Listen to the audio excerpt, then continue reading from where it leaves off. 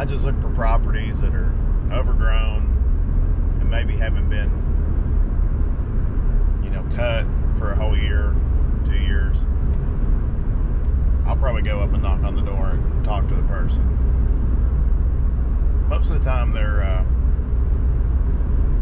they're pretty nice about it, but occasionally, you know, the the person just doesn't want help, so you have to just go on to the next house.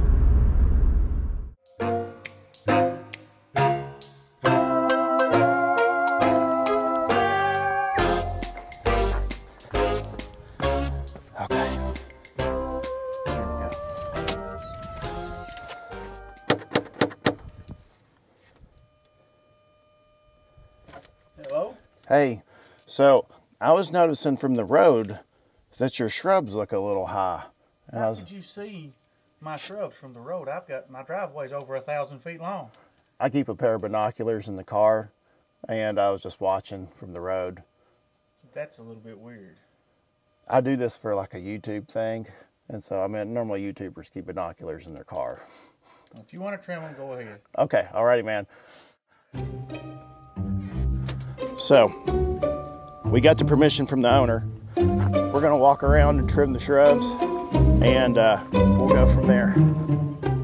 So basically, today what we're gonna be doing is we're gonna be using the Milwaukee M18, and we're gonna use a high output HD 12 amp hour battery on it, and we're gonna put that against the Shindaiwa the AHS 231. This is an older unit, but it's commercial grade, short handled hedge trimmer. All right, so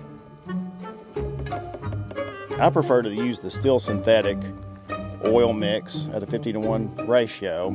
It's full synthetic. I'm using 100% gasoline. And the reason I like the Stihl mix is because it smells like a Yankee candle. So the advantage of the uh, electric systems is there's no mess. You just take this battery, snap it on, and it's ready to go. Right here, I've got the Shindaiwa AHS 231. This is an older unit. What's cool about it is it's got an articulating head. So it'll go 90 degrees that way probably it's not 90 degrees on that one. Maybe about what do you think that is? What would you say josh? Maybe 180 no it's a little bit more than that. What about maybe 190 on that one? So if this was it'll almost do 180 on it. So gas powered um, 22.5 cc motor and uh, it's just very comfortable to use. You can uh, just manipulate it all the way around. It's very well balanced.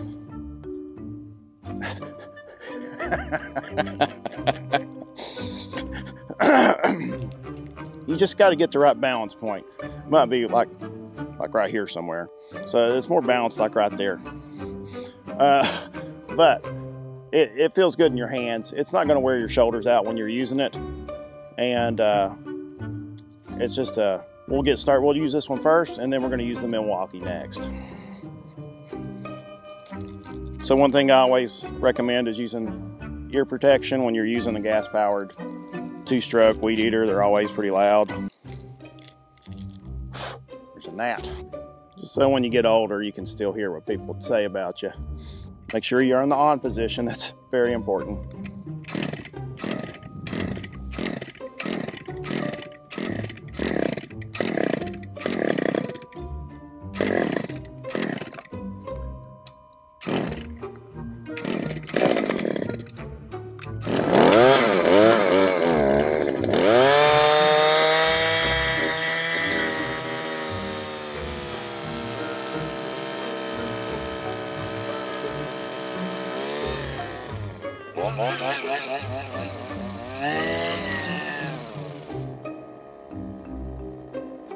Got any WD 40?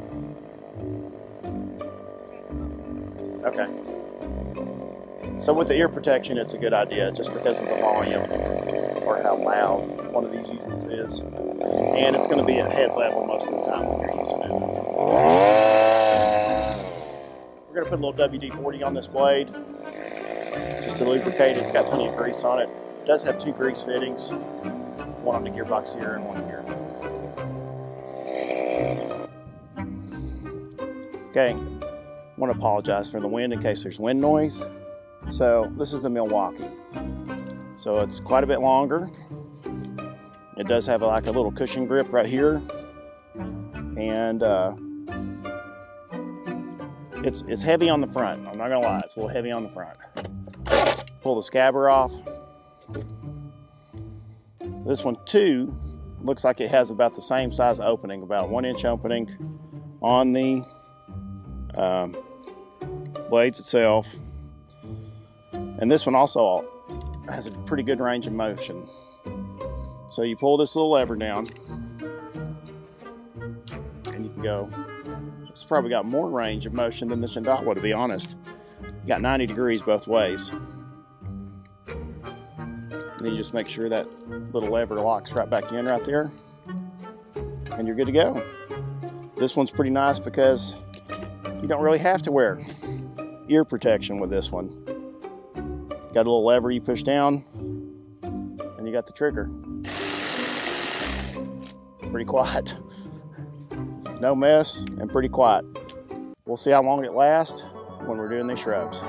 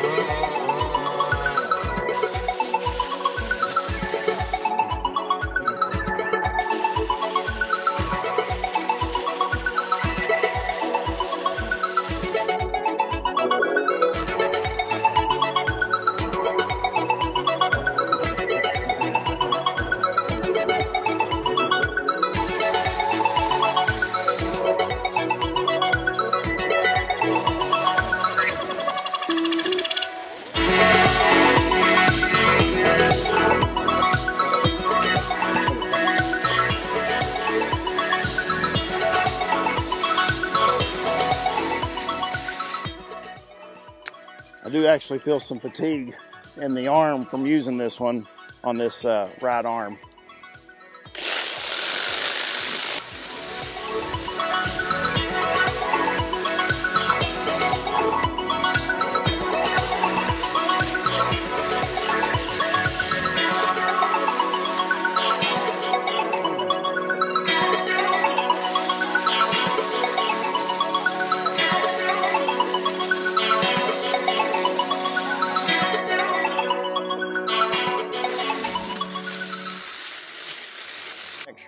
Going to round them.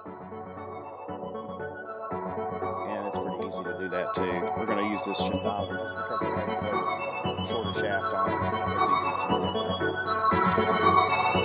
do.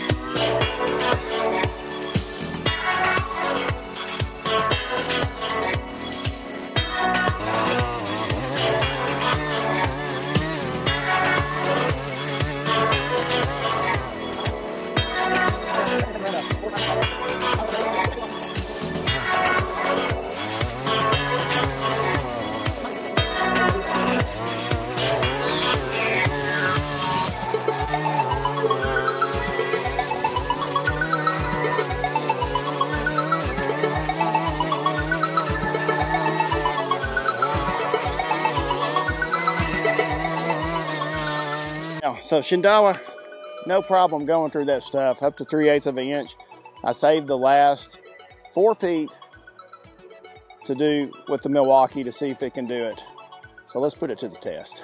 See what they do.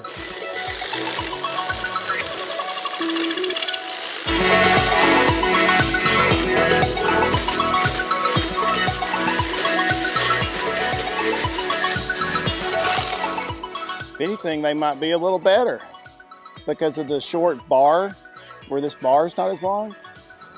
It actually uh, doesn't put as much strain on the gearbox. It's kind of just cutting right through it.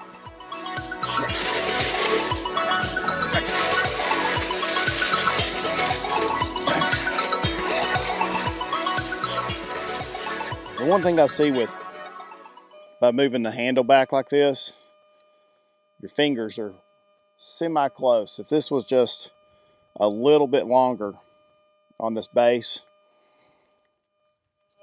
oh, hold the Shindaiwa up. See how we got that extra foot? That would make this one perfect. Oh, let's see what it does. I'm not nuts about this uh, release mechanism, how you have to use two hands to do it.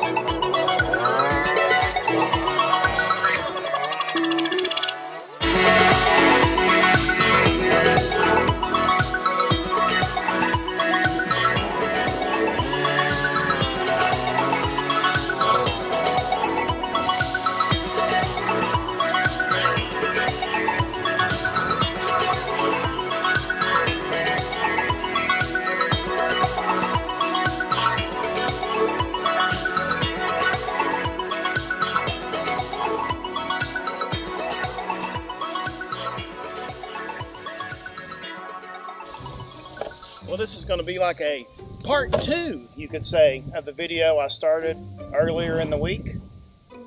Today, I'm going to be putting the Milwaukee kind of on a longevity test. We got four shrubs directly behind me on the right. I'm going to be using this high output XC 8 amp hour battery to see if it'll take out those four.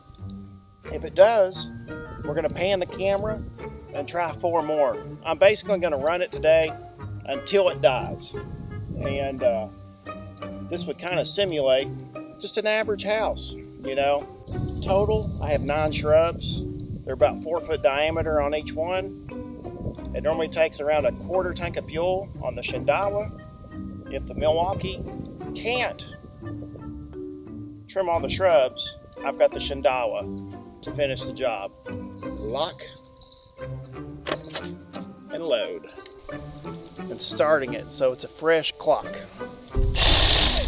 Fresh clock, here we go.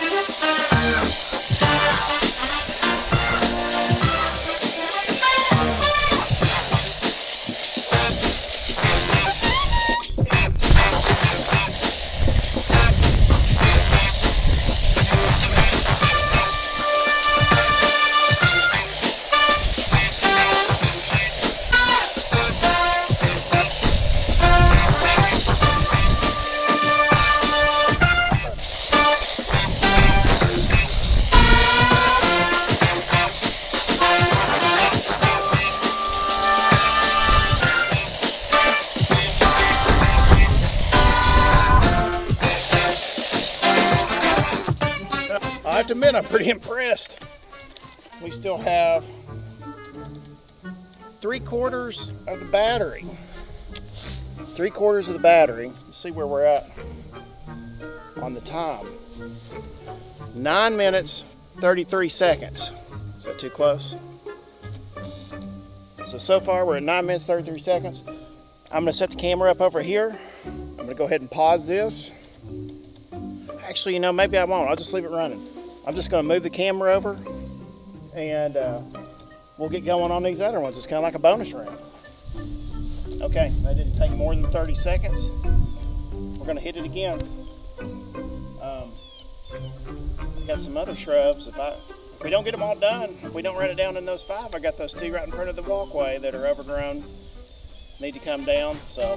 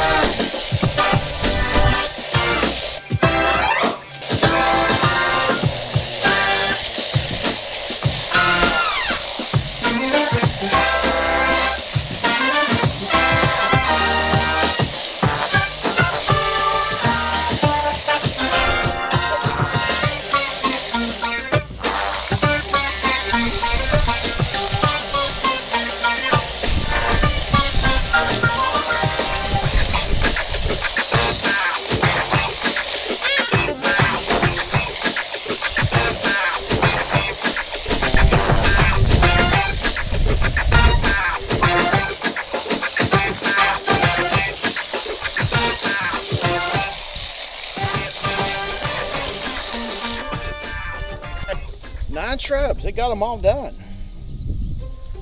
I mean, I've still got two bars on the battery. My mind has literally just been blown. I did not think that this Milwaukee would be able to trim the entire front. So we're gonna go into a bonus round here. I've got two of the uh, snowball bushes right up front. I'm gonna move the camera and they're overgrown and we're gonna cut them to the ground. We'll see if we can uh, strain this sucker, but I might not be able to uh, run the battery down all the way. I don't know. So you got turtle speed and a rabbit, you know, indicating you're going fast. I'm in rabbit speed. And this uh, this is holding right up. I know I stated it a second ago, but I'm impressed. That took me total of 23 minutes to cut those nine shrubs. I'm impressed. 24 minutes, 30 seconds.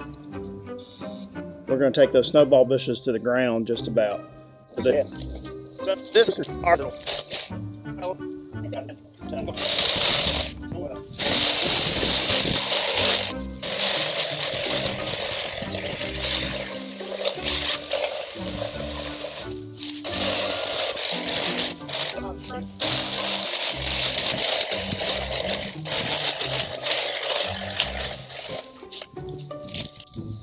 didn't even have to use the AH 231. I'm impressed. I mean, this did an awesome job. We made it through the bonus round. I mean, we cut all nine of the shrubs and the two overgrown ones right in the front. I mean, what do y'all think? Do you think it's time to get rid of these gas ones? I mean, these have their advantages. Look at the bar length. I've got about a 30 inch bar on this one versus maybe a 24, 20, maybe a 20. You know, this this one has been modified too. You know, normally they come with a much longer shaft on them, but it really wears on your shoulders using that. And I wouldn't even say this is exactly safe, being a foot away from the cutting edge. You just have to know to always keep your hand on this. But if Milwaukee made one like this, like if you made one with this shaft a little bit longer, so your hands are away, you can, uh, you see with the Shindaiwa, we got about 18 inches from the from the blades. Shindaiwa is also one hand to articulate it. So the Shindaiwa weighs about the same. I wouldn't say it weighs the same. It's a little heavier. Um, but I could see myself switching to a uh, you know a battery system like this just because it got the same results down. I don't smell like exhaust. I don't have to worry about mixing the gas and the oil. I mean, I'm still on half charge. Half charge on this battery. So, I don't really know how long it would go. I mean, that was almost 25 minutes straight of using this. So, I don't know. Well, that's going to finish up this comparison between the two. The Shindaiwa AH230 and this little uh, Milwaukee brushless system. So in case you wanted to know, the, the power head, here's the model. Um, it looks like a 2825 slash 20 power head. So I'm guessing this can be used like on a weed eater also. Um, but yeah, Milwaukee, why don't you come out with a short one like this? And I think you'd sell a lot of them to commercial people. Anyway, guys, thanks for thanks for watching my video. I really appreciate it. If you would, if you like this, give me a thumbs up and uh, follow the channel.